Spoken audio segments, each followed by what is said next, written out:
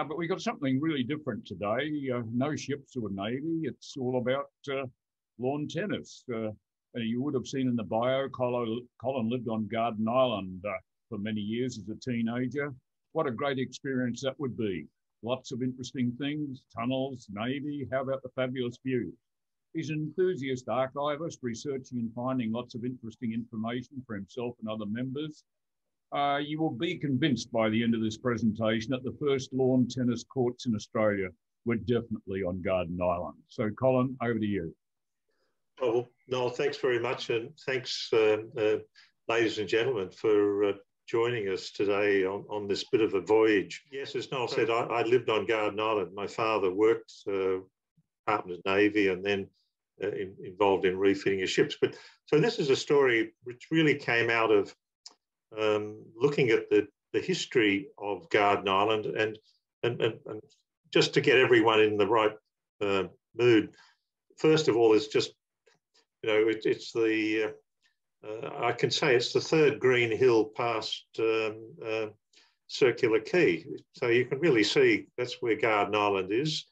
And, and the tennis courts uh, are, are, are a very central thing to what was happening and has happened on Garden Island for many years. So, but let's go back to the starting point. Pre 1788, and if we go back uh, 6,000 years ago, this is what Garden Island looked like. It was two hummocks uh, in the middle of the harbour. Um, it was known as Burrawang. Um, it was a fishing place. Um, and, and it was used by the Aborigines uh, for really 6,000 years as a place to fish.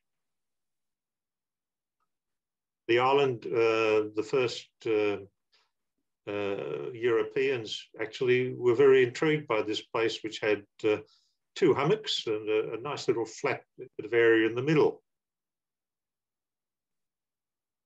This is uh, uh, the whole of the harbour.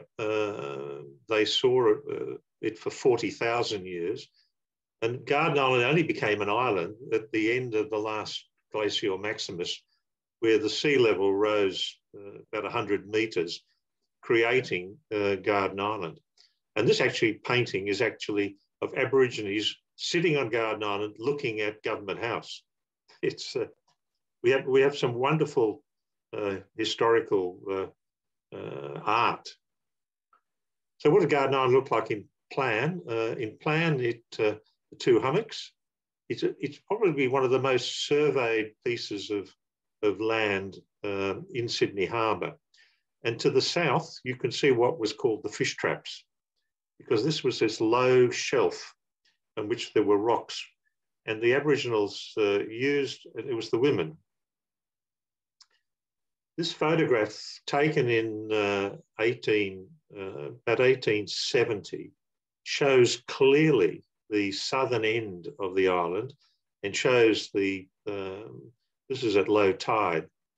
And in 1870, you can see there were um, two built, well, there's actually four buildings on, on the island. There are two, um, two uh, one blacksmith shop, uh, a slipway, um, a bit of a sail uh, building up on the, on, on, the rise.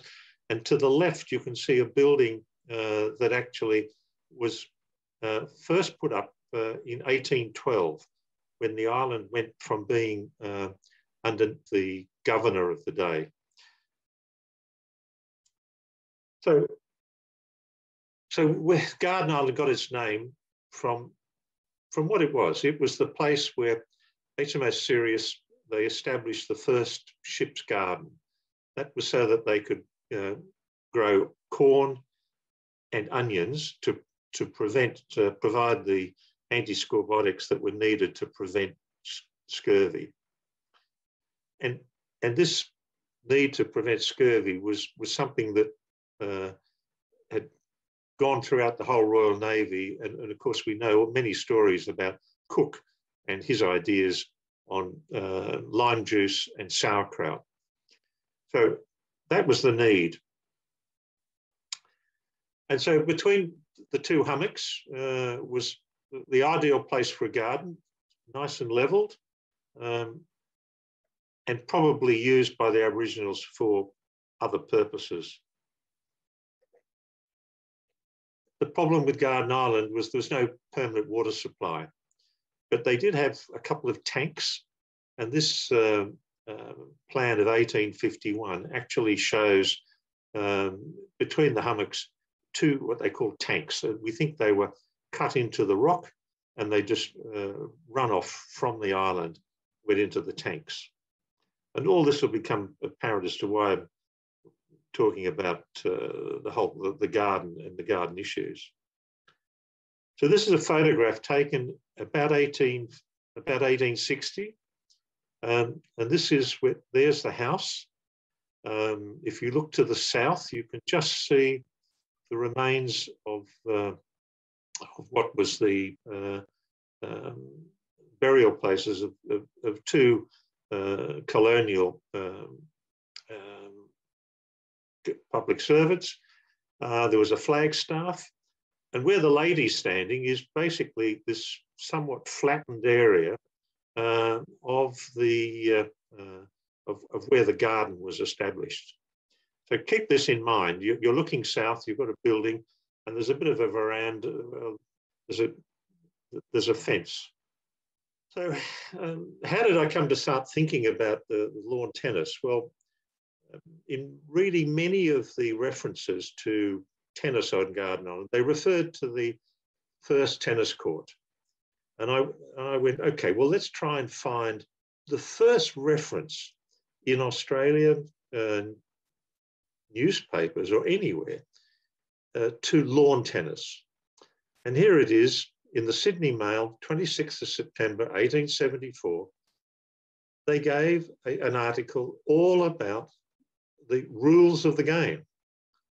And that got me really interested as to thinking, well, well, who was the person who, who started all this and how did this all come about? Because, and I have to admit, I do not like playing tennis. As a kid, it was the one thing that um, I prefer to play squash. Maybe it's uh, it, it, anyway. I, I never played tennis, so so this is from a, a purely archival point of view. I then found another reference: Sydney Morning Herald, uh, 1876. Uh, just landed lawn tennis um, goods buy from Mr. Davis in King Street. And there were many other references to uh, tennis in other places. So I went back to have a look at who was the inventor, and here he is, Major Walter Wingfield, who created in 1874, he called it a very spherostic, sphairistike or lawn tennis, and he created this game, and he actually went into the business of putting it into boxes, a complete set. So Major Walter Clopton Wingfield, inventor of the game, uh, and there's a bust of him in, um, in at the uh, All England Tennis Courts uh, Museum at Wimbledon. Um, and this was his set, and this is actually the set uh, held at Wim Wimbledon, and and it's it's one of the original box sets. So he sold these box sets um, and by 1875, I think the number was he had sold over a thousand of them. So who was he selling them to? Well, this would, before we get to that, maybe this is what it sort of looked like. Um, you had the you you got the set, you got the uh, uh, the net, you got four rackets, uh, you've got some things to knock in the ground to hold the thing upright, and uh, and you followed the basic rules that would set out because the rules came in the box. And he actually had another set that was called the the Junior Army and Navy lawn tennis. So so he he aimed it at the Army and the Navy. And you can see there's a photograph uh, in that photograph there. You can see the diagram of the court and the rules. So you, you got the ball, you got the net, you got the whole thing. And so, um, so it was aimed uh, at, at uh, Army and Navy and, and also the Marines. And you can see here the, the, the same the setup with the, uh, and, and, and it's not surprising that uh, um, the, the regal touches, and if you're a vexillologist, you look at the flags and you're thinking, well, where is that? But uh, um, it, it, it, it's the sort of thing that's played uh, at, at, Government House and places where uh, uh aide de camps or naval people would be involved. So here's the redoubtable man himself. Uh, um, and uh, at his house, and I forget where that was in London, there was one of those famous British blue plates uh, saying, at this place lived Walter Crompton Wingfield, father of lawn tennis. So the question then comes is to how did lawn tennis come from Wingfield in 1874 to Australia? So in 1874, um, what you've got to look at is, is where were the naval bases, the Royal Navy bases throughout uh, the world? And more importantly, where were the major naval bases and also the coaling stations? So the coalings, everywhere where the Navy went, the Royal Navy went, there was either a, a dockyard, a depot, or in some places a uh, an officer whose job was who was the coal inspector. So each one of those dots on that plan is actually a uh, a, coaling site, and and many of you you know, but uh, I had 50 years in the coal industry, so so it, it's a bit close to the heart. So anyway, so look at where the coaling stations were, but also where the major dockyards were. And so the, naval, the major naval depots in 1874, Gibraltar, Bermuda, Malta, Trincomalee, Hong Kong, Sydney. And not surprising, tennis went to each one of these places. So the Royal Navy and the Royal Marines were the people to which Wingfield sold his sets. And this is Bermuda. Um, this is the tennis court in the Admiralty House. And this is Hong Kong, the tennis court at the Naval Depot, uh, HMAS, HM, HMS Tamar. So how did uh, tennis get to Australia?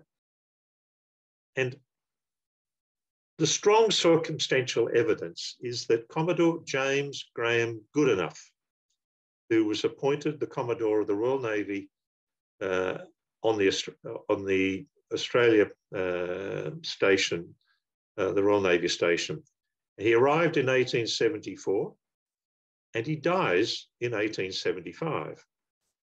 Well, Commodore James Goodenough came on the vessel. Uh, his ship was HMS Pearl as the flagship.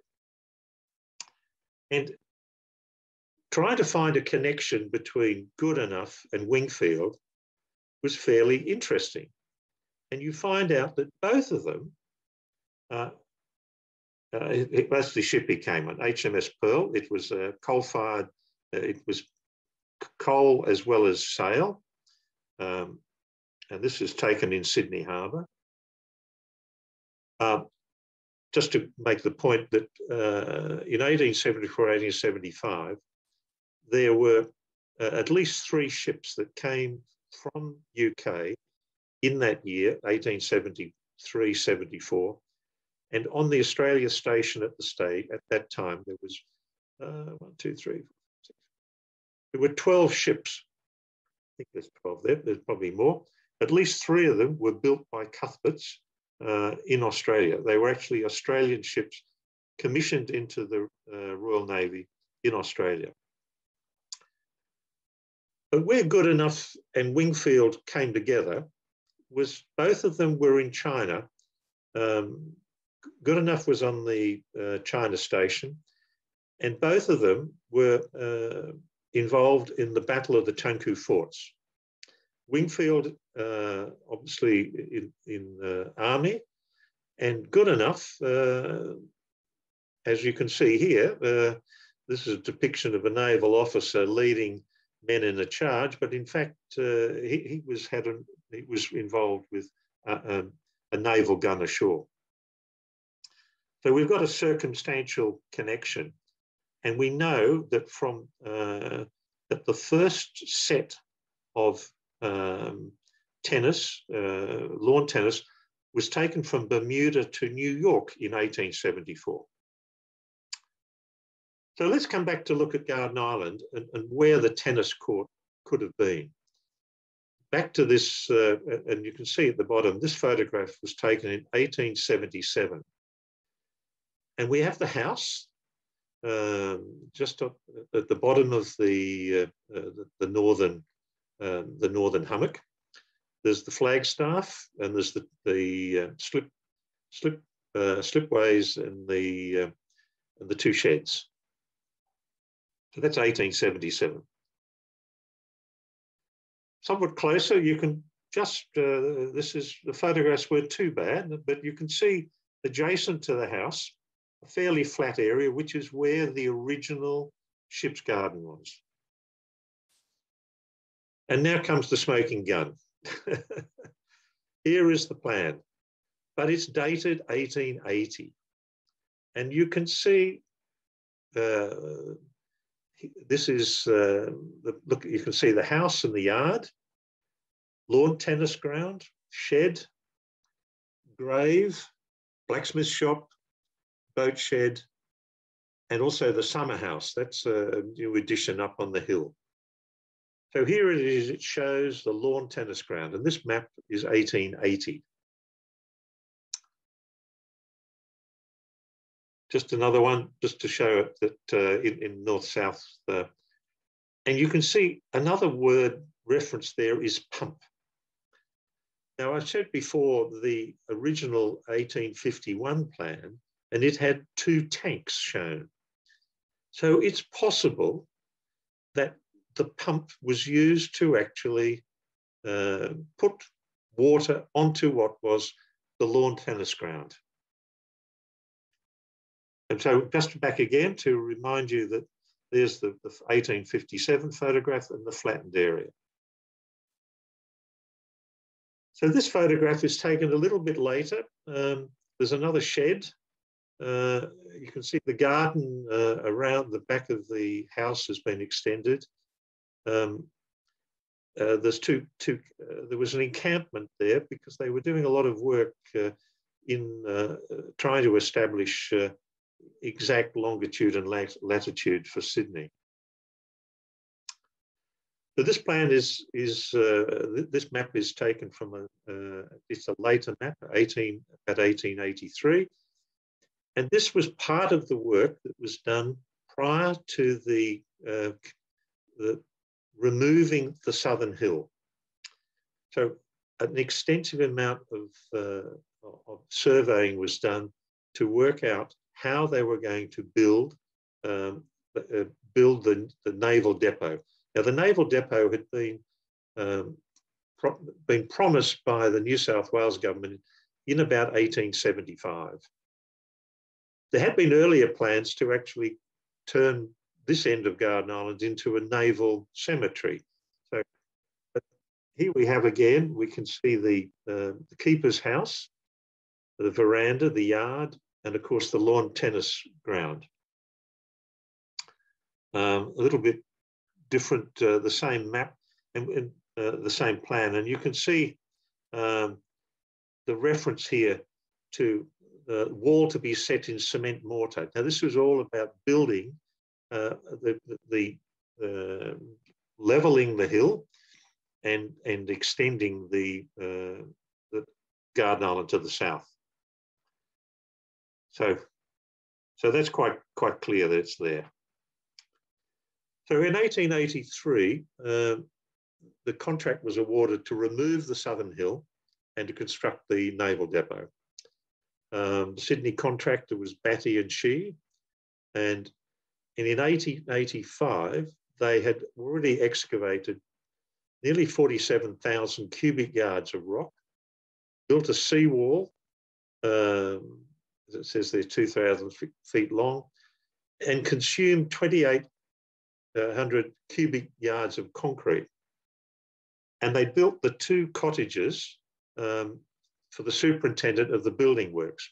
And those cottages built in 1885 is one of them residencies where I lived.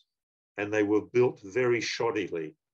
No underfloor um, uh, ventilation, uh, mass, mass uh, sandstone blocks. So if we look at this photograph, this is 1895, and you can see there are two buildings to the south that have been constructed on the reclaimed area. Now they've removed half of the hill. Uh, they have built the, um, the barracks, which is a, almost immediately to the southern end. And quite erroneously in the past, people referred to the uh, tennis court being behind the barracks. Well, of course, it's obviously not. It was somewhere between uh, the middle of the, the, southern hill and the northern hill. And you can see the two, uh, the chimneys of the two residences that have been built further up the hill on the northern, on the northern, uh, northern hummock. So this is the northern hummock. Um, this is taken about 1870, and you can see it's uh, pretty scrappy. Uh, it's just, uh, uh it had a, even at that stage, they had not put the signal mast there. So the signal mast was still convenient in, in the middle. By 1910, with the construction completion of the removal of the southern hill, the construction of the workshop, which is to the right, uh, the boiler with the chimney, the, uh, the main office with the uh, veranda to the left, and to the south is the major stores building. And so the ship's garden and the first lawn tennis is underneath uh, underneath those two uh, trolleys, which are uh, holding the uh, barrel uh, of, um, of one of the ship's guns that has been in for repairs or for re-rifling. And this same photograph taken from the, uh, take a, a photograph of the same place, taken from the stores building, looking to the northern hill, and you can see now this huge signal mast. And the reason it was so large is, is of course, that uh, it was also the radio transmission tower. It's how they communicated to all the ships uh, in the Pacific. So, so the original tennis court and, and the original garden is, of course, to the to the left of what is the uh, uh, we can see a bit of a carts and before the hill. So the smoke uh, emitting as you look up the hill on the left is from uh, the residences built for the uh, superintendents, which became offices uh, became houses for the master attendant and others. So this is um, a 1910 plan, and, and you can start to see on the hill, they have built the first tennis court. Um, you can see the, uh, the island has been extended. Uh, the northern hill is still there. Um, there was some consideration that the northern hill should be demolished uh, to extend the uh, coal store. Uh, they, they wanted to increase the coal handling capacity of Garden Island. Um, this is uh, an, another plan, and it shows the signal station, uh, the summer house, uh, and the tennis court, and the, and the pavilion. And to the right, um, apart from far right, which is the garbage, garbage destruction um, uh, incinerator, there are the steps down to the bath. So this was the uh, this was the uh, sea bath that was created for the benefit of those who lived on the island. So here's the first tennis court on the hill. And these are a series of photographs which show uh, here is the pavilion and uh, and here is the tennis court that has actually been uh, doubled in size. So you've got two courts. And, and there is uh, to the left, uh, there is a Norfolk Island pine, um, quite young. it, it, it is, uh, that's 1910. Um, it, it, I think, has actually, yes, it was, it was removed only two years ago. Here we can see the pavilion, uh, and on the hill is the signal station. Um, the pavilion uh, exists today exactly as it is and has been repaired uh, and looks very much as it was in 1910. The tennis, the tennis groups, the ladies uh, suitably attired, gentlemen with ties on, and, and there's the pavilion itself. Uh, here we have actually bow tie and, and the ladies with ties. For, if, if you understand uh, that's the study of ties. Um, it's quite interesting to see ladies with ties on it. Japanese, uh, we have, uh, it was quite, uh, the tennis courts were a significant place to actually have Japanese visitors, uh, and the Japanese fleet um, visited uh, from really the early 1900s onwards. Um, and of course, our, the most recent was a, a Japanese uh, ship that came with the with two other uh, described allies who arrived in Sydney, but unfortunately they were, were not allowed ashore. Uh, but these gentlemen uh, uh, took great pride, I think, in being photographed, but probably not so happy of being photographed with women. Typical. So the, the look on the face of these Japanese gentlemen is not one of pleasure. You can see in the background Fort Denison, and just uh, uh, there is a ship going by. Um, so uh, the 1930, 1930s, uh, the tennis court uh, is now in its current position, doubled in size. this is all the walkways. this is before the main signal station went in in 1923. Um, and you can see the residences uh, um, and, and the, the tenants courts and the baths were for the for the use of the residences first. Um, Lord Jellicoe in 1919, when he came to Australia to review uh, the naval establishments, uh, um, uh, him playing on Garden Island.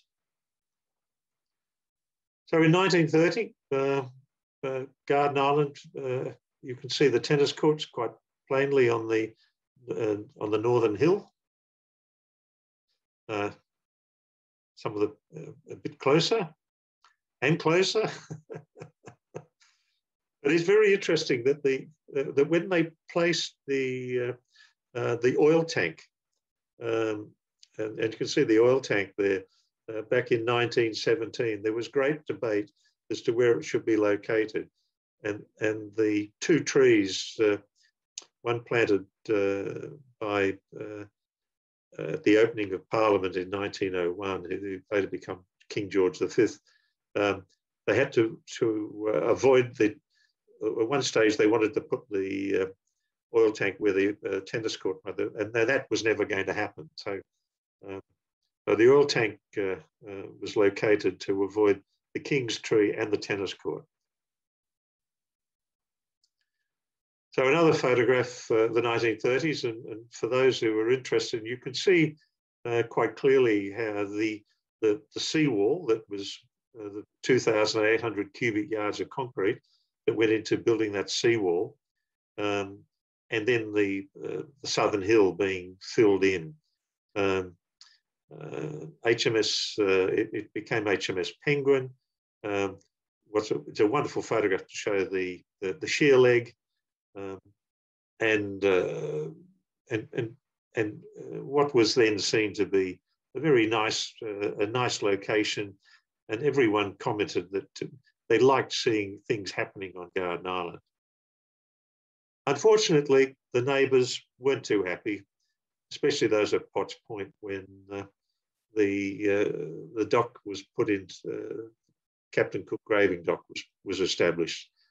Um, this photograph uh, is from March 1946, and this is my father's ship, HMS Implacable, uh, entering the dock. Um, it's in, in, quite sometimes it's referred to as the, the, the docking of HMS Illustrious, but of course that was a year uh, a year earlier. So this is one year later after the opening of the dock.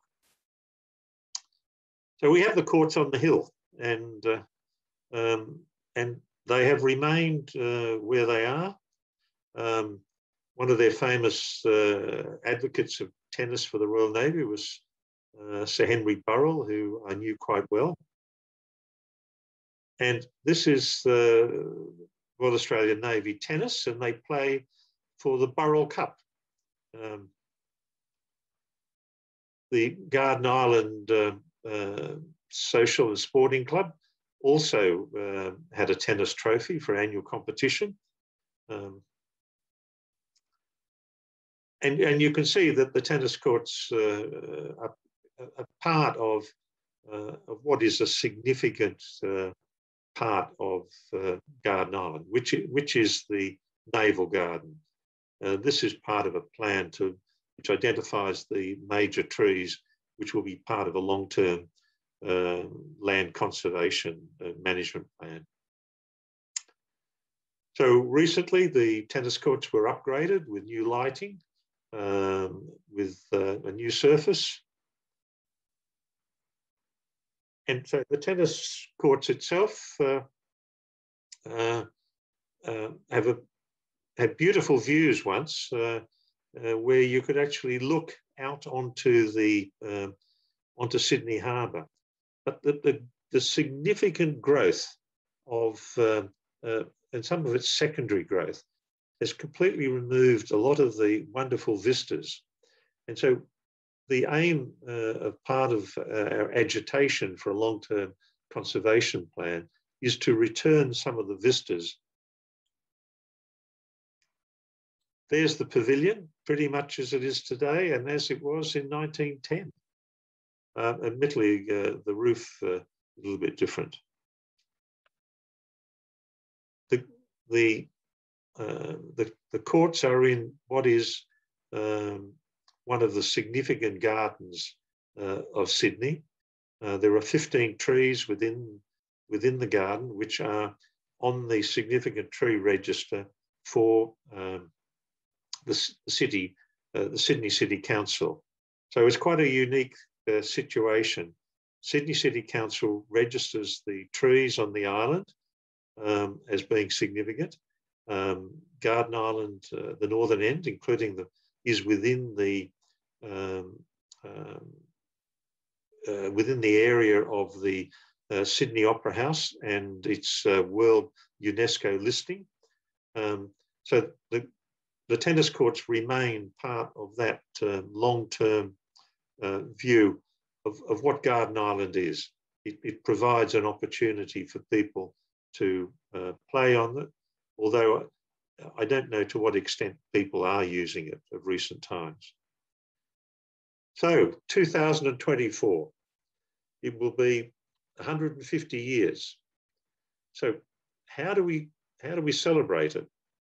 So okay, maybe an exhibition tennis match uh, held in the old, uh, uh, right on top of where it was. Admittedly, it's uh, three metres lower than it would have been.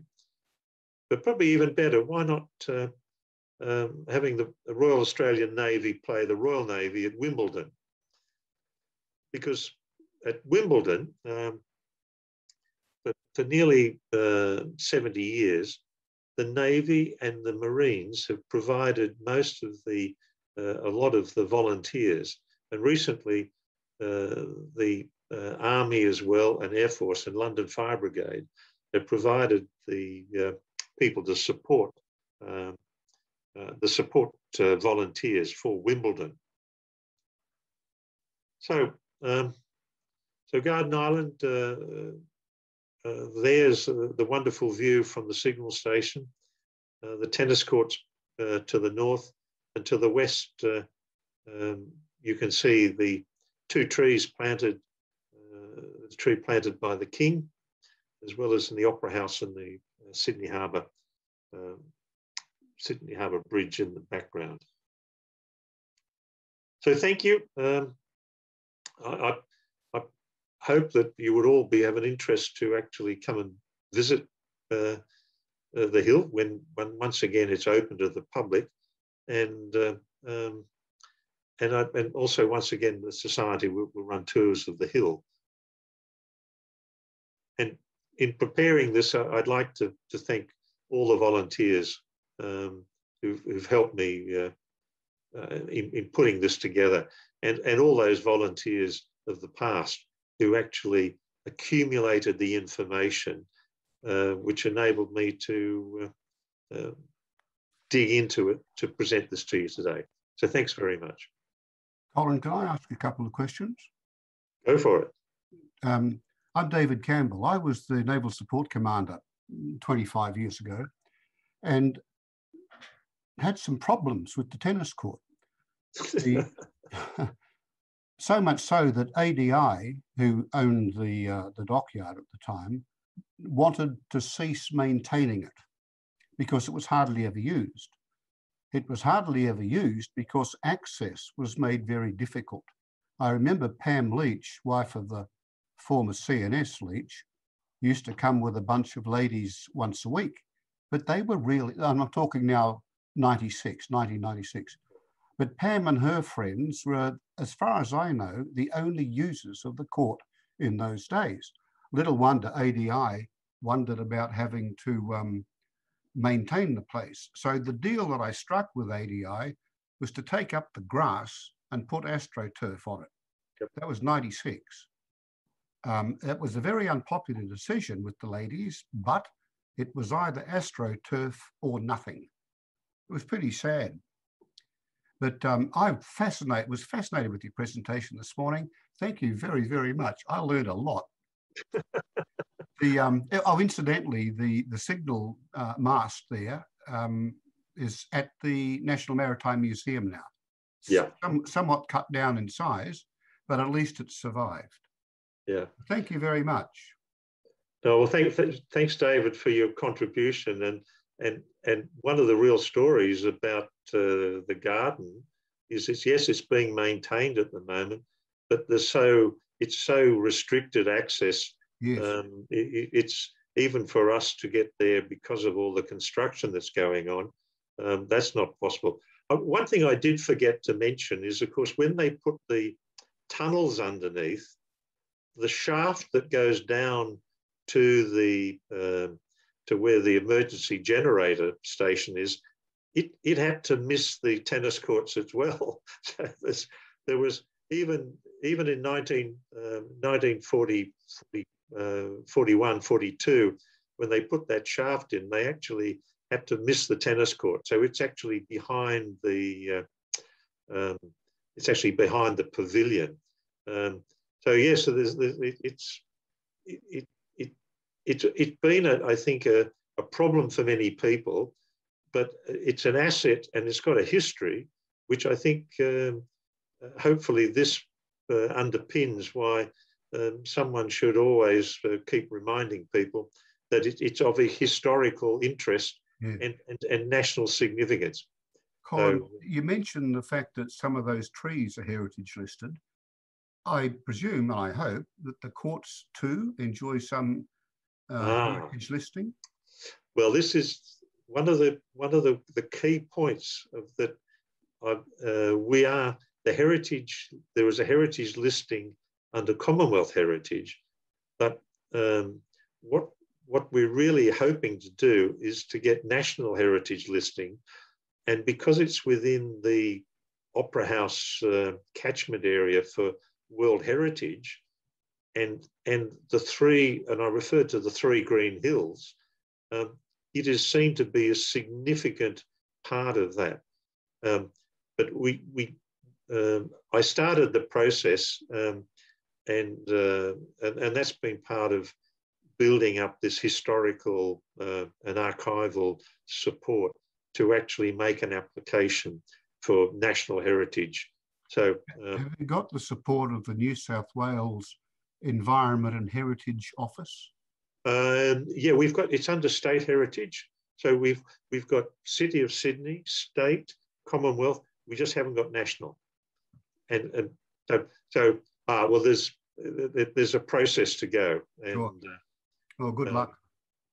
It's well, it, it's like everything; it just takes time. Yeah. what I didn't show, we, we we we discovered there are many photographs of ladies groups having tennis parties on Garden Island, uh, especially after the Second World War. The, the War Widows Guild um, used to play there quite often, and uh, so and there was um, quite a lot of tennis that was played. And when I was a, uh, a kid on Garden Island, uh, there was always people with tennis parties because uh, it was very simple uh, to get access, and, and sometimes there was competition to you know, have a party there, and um, and the pavilion was a great spot to actually have uh, um, have, have, a bit of a uh, have, have, a party anyway. And New Year's Eve, uh, the pavilion, if it was wet, it, there's an awful lot of people you could fit in the pavilion when it was a wet night on New Year's Eve. I think we might uh, end on that note. What an outstanding uh, piece of research. Congratulations, Colin. I also uh, learned a lot. And what wonderful photos. Uh, and it uh, was really a trip down memory lane history.